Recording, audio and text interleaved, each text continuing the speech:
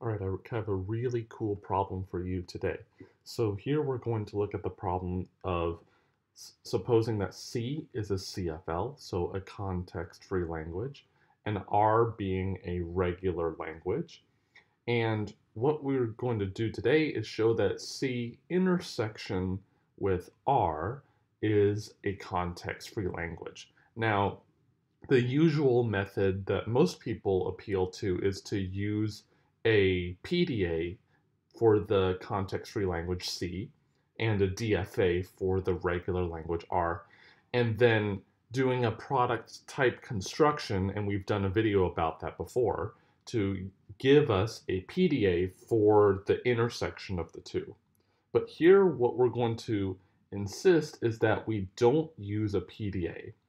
So Recall that the only other model of computation for the context-free languages that is usually taught is a CFG. So let's let G be a CFG for the language C. Okay, and let's also let D be a DFA for the regular language R because it's a regular language, there must exist a DFA for it. So here, we're not only going to not make a PDA out of it, we're also, um, yeah, so we're not going to make a PDA out of it. We uh, started with a CFG, we're going to make a CFG. So uh, here's what one method you may try if we want to make a CFG for the intersection of the two. One method may say, well, we can just do a product type construction with variables and states of the CFG and the DFA, and then just try to model it based off of that. Well, I invite you to figure to try that approach. It actually is quite difficult to do, and it turns out to uh, not be nearly as easy as this one. So if you recall the, so let's put a little thought bubble over here. So if we, if you recall the PDA to CFG conversion, one of the steps that we had was when in the PDA, it can have a bunch of states, but at the end, we had all of the originally final states go to a single final state. And the reason for that was that whenever we wanted to make the starts the the start variable of the CFG, we needed a state of the form AQ0, comma QF. All of the states that take us from the start state to the single final state. Well, in general, the DFA for R here may or may not have a single final state or not. So let's let n be uh, derived from D uh, having exactly one final state. Okay, so that that's uh, it'll mirror the same idea as before, and the uh, the other thing that we're going to do is we're going to simplify the CFG by supposing that it is in CNF. And the reason for that is going to be clear in that when we're going to make all of the variables and the rules in the resulting grammar, it's going to be far easier. So let's figure out what we're going to do here. So what we're going to model this as, we're going to have the variables in G prime the resulting grammar. So I'm going to call the grammar that is the intersection of the two, C intersection R, to be G prime. That's what I'm going to call it. And will, so the variables will be of the form Qi, A, Q, J. So here what I'm interpret what we're going to interpret this as is the Q's are states in the NFA we just made N and the variable a right here is, well, a variable in the grammar G that's in CNF. And what we want this to mean, so what we want out of this is QI A QJ is going to generate all strings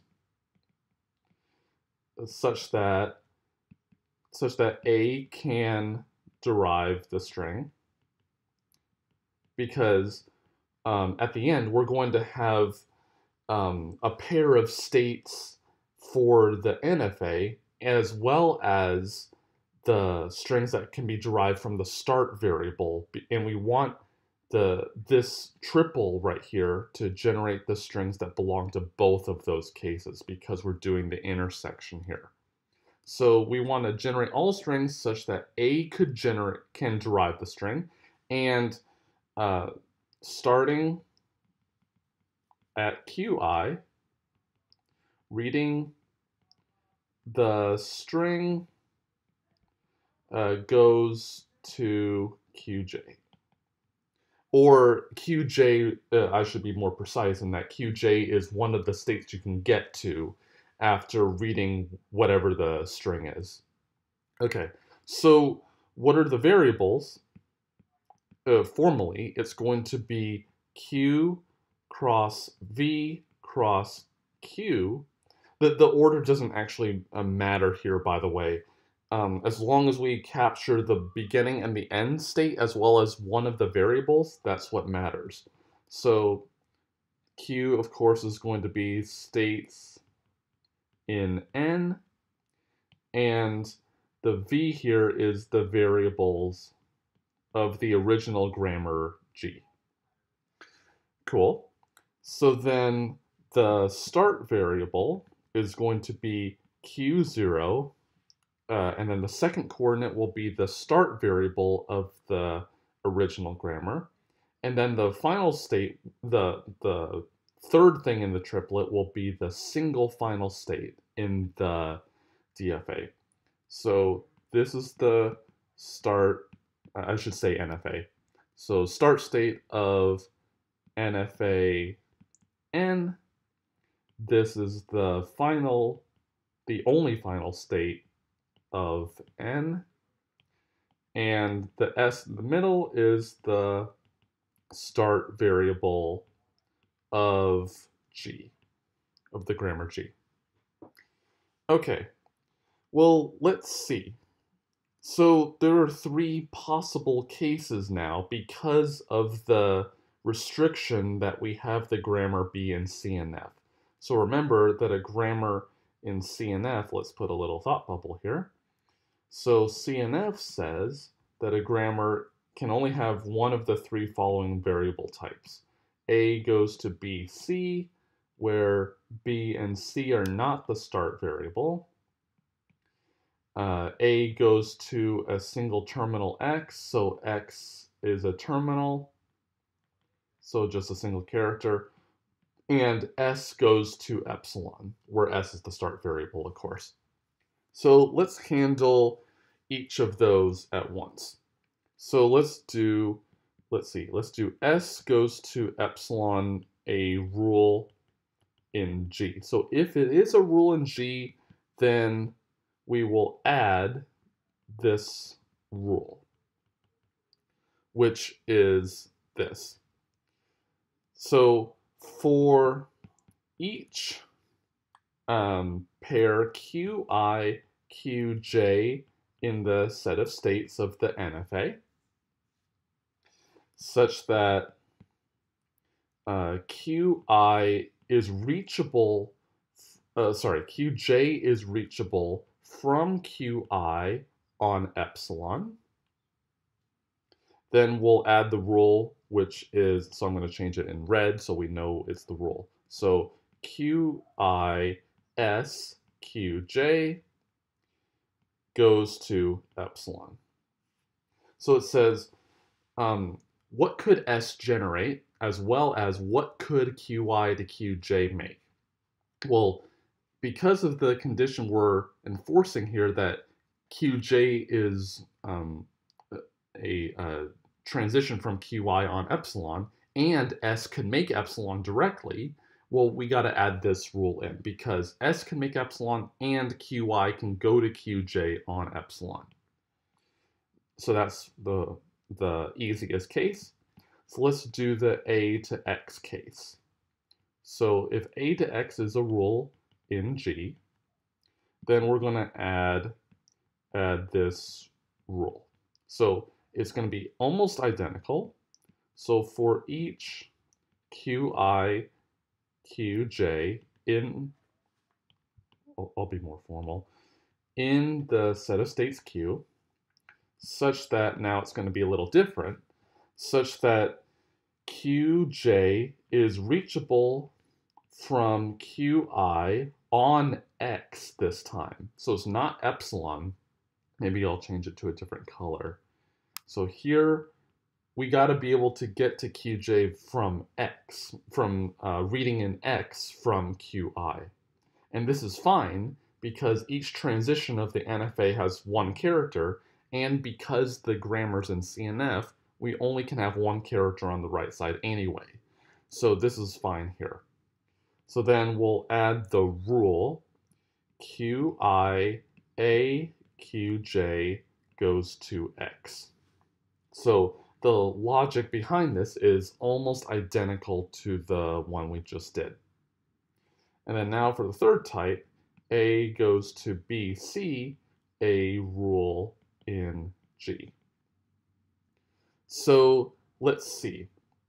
Well, in order to, so we can actually think of the PDA to CFG conversion again. So one of the rules that we had to make for the PDA to CFG conversion is A Q I Q maybe I'll I'll remove the Q subscript here to make things easier to see. So let's say that we have PQ. I got to go from state P to state Q. And then I could possibly go to any state R in the middle. So this is saying that if I can get from state P to state R and from state R to state Q, then I certainly can get from P to Q. So how can we accomplish this here? How can we make this easier? Well, we got to start at a state here. Then we got to go to a state here after uh, reading a string that B can generate. And then we got to go to a state here after reading the C part. So what we're going to do is add the following rule for each now we need three states, not two states. And they can all be the same, could all be different. But so for each triplet of states in the NFA, and they may or may not be adjacent to each other because we may need to generate a, a, whole gigantic string from each of the two variables b and c. We don't know necessarily, but as long as I can uh, get from qi to qj and from qj to qk, then we are fine. So the way to view this is qi is my starting point, and q K is my destination, and QJ in the middle is just a, you can think of it like a hop over state. So if I can get to that state and from the middle one to the end, then we are all set. So what rule are we going to add? Well, we still have the variable a on the left side. So if I can get from qi to qk, and uh, sorry, if I can, I want to get from QI to QK as well as express the strings that A can make. Well, one way to do that is just to say, well, I can stop at any state in the middle that I want to. So then I can just say, well, QI going to QJ as well as getting a string that B can make. And then right after that, concatenate that with some string that takes us from qj to qk, as well as what the variable c could also make. So we're going to add a rule of this form. And based on all of the discussion we just had, this CFG, so uh, this CFG has the language C intersection R. Because, well, we're just mimicking what the CFG would have done, as well as at the same time doing what the the NFA in this case would have done. So I hope that was interesting. Please leave a like and subscribe, and I'll see you next time.